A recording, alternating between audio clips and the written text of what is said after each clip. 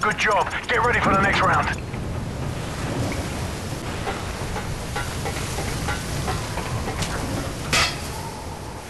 Oh!